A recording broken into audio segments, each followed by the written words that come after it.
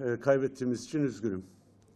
E, oyunun belki e, ilk 15 dakikası her iki takımın e, oynama çabasıyla ama 13. dakikada bulduğumuz golden sonra bizim için e, ilk yediğimiz ana kadar e, her şey değişti.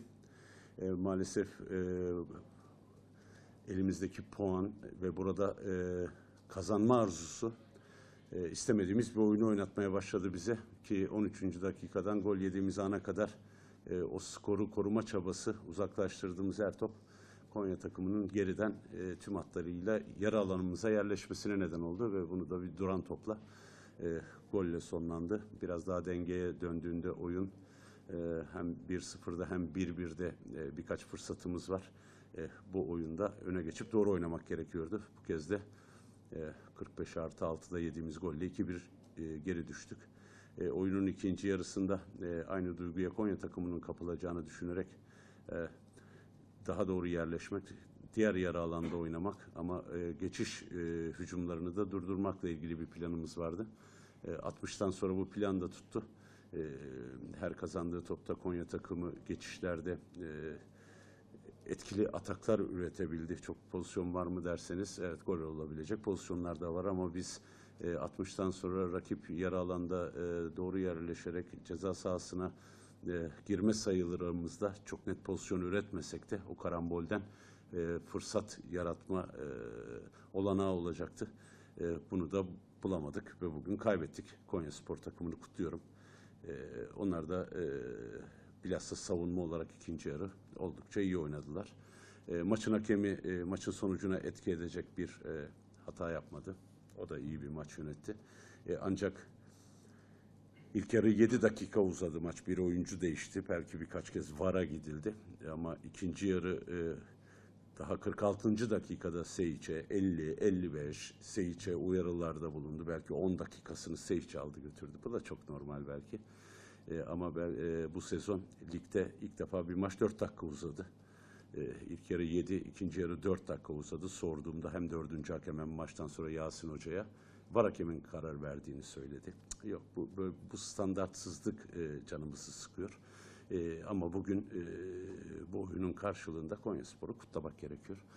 E, kalan 7 hafta, kalan 6 hafta e, daha zor olacak. E, Her biri final havasında olacak. E, Ligin e, bitmesine az zaman kaldı.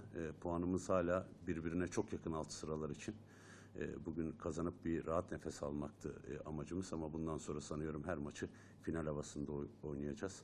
E, Bugünkü maçı unutacağız ve önümüzdeki hafta Ankara gücü deplasmanına odaklanacağız salıdan itibaren. Bunu geri döndürmemiz gerekiyor ve maç kazanmamız gerekiyor. Bunun için çabalayacağız. Teşekkür Teşekkür ederim.